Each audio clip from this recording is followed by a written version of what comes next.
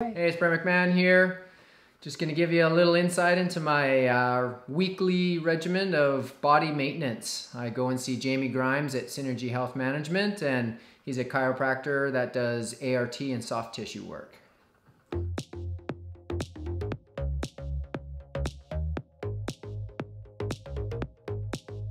Hi, I'm Jamie Grimes, uh, chiropractor, Synergy Health Center. Um, today, working with Brent McMahon, who's uh, multiple-time Ironman champion, uh, who comes in regularly for maintenance care, performance care, or if there's ever injuries, we do uh, injury care. Today, he came in um, more our typical maintenance treatments, which sometimes are twice a week, three times a week if he's in town, uh, or even sometimes uh, once a week generally we're always loosening up things like calves uh, all you know runners should have those released a lot of hip flexor work. A lot of all cyclist runners need those released regularly. Quad work, hamstrings, glutes. Uh, we're always checking for imbalances. Um, sometimes if one hip gets tight, creates some pelvic rotation, changes the recruiting patterns of, uh, for example, if the glute maximus isn't firing because there's any pain or it's been overused, the external rotators in the hip, uh, piriformis, gemelli, obturator, internus, have to work a little harder. Sometimes that can irritate sciatic nerve. Other times um, it just means they're trying to work harder to do a job that they're not, that's not their primary role. And then hamstrings will start to tighten up as a result because now the hamstrings have to do more hip extension because the glute max isn't working. That's a common thing we see with cyclists and runners in general. Um, so that was one of the issues we worked on today. Uh, we realized his his right glute maximus wasn't firing before his right hamstring. And an ideal pattern would be the glute max goes first and then the hamstring, or at least very close together when there's a reversal. That usually indicates that the brain is trying to use the hamstring more as the primary extensor in that position, which should in that position it should be the glute maximus. And so it's that revert that just tells us that things aren't firing properly. And then it's my job to go in and find out where it is that it's not, what's not working, why isn't it working, is it too tight, is there a nerve entrapment, is it just the muscle needs to be released because there's metabolic waste, and then get that out. Is it because the pelvis is rotated and it needs to be unrotated so that everything's recruiting from the right position? There's a there's a number of different things that cause it, and then work that out, and hopefully his pelvis becomes balanced and then the muscles start to fire in the right recruitment pattern that's ideal for strength and performance. Um, so that was something today that we saw was a little bit of right PI or right pelvic down slip rotation on his SI joint. Um, external rotators too tight and the glute maximus wasn't firing properly because of a little bit of pain uh, that's going on where it attaches to the femur and the, into the IT band. And the pain can sometimes inhibit the muscle from firing.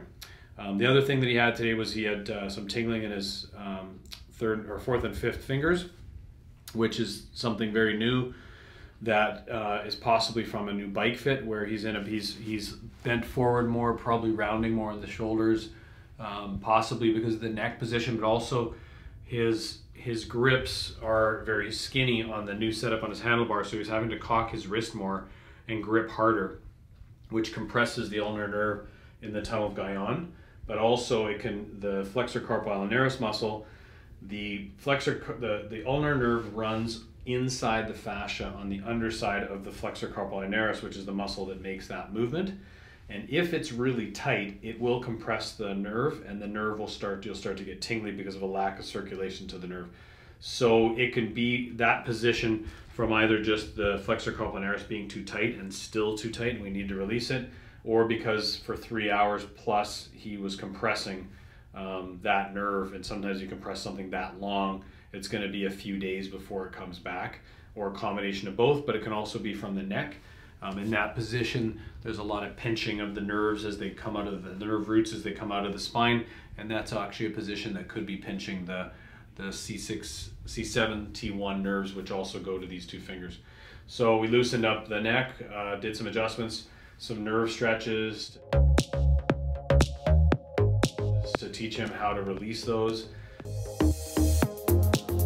and stretch them and just make sure there's lots of blood supply getting back to them and then releasing the flexor carpi and the tunnel going Guyon to make sure that those are all uh, released as well and then hopefully we've hit all all potential causes did an adjustment of the neck uh, to make sure that the upper neck, uh, lower neck, sorry, and upper T spine is moving. Um, and that way, hopefully, we've treated all of them and then some home care exercises so that uh, he can keep them released himself. And usually that should go away within a few days or so. Other than that, we did a spinal adjustment, which we often do um, just to make sure all the joints are moving.